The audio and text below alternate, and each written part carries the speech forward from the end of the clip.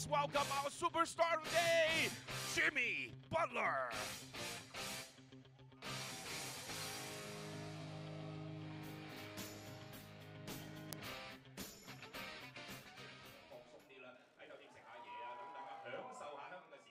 It was a great season as a whole. Uh, we came up short, which is, you know, disappointing for us as a group because we knew that we were capable of winning the championship. But that's just part of it. Uh, right back to the drawing boards. Each one of us get better as an individual to help the whole as a group be better. So, um, you know, I say it and I'll say it again, but I'm gonna pick the Miami Heat to win the 2024 NBA championship.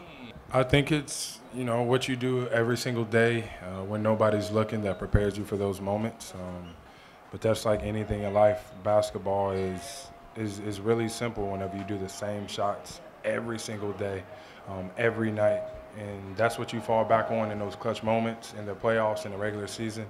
It's, it's, it's all about the work and the confidence you build while you're practicing.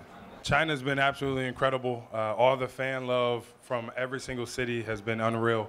Uh, lots of great culture experiences, even better food, um, phenomenal people, and um, I'm enjoying it. I'm actually kind of disappointed that it's coming to an end. Two hands, yeah.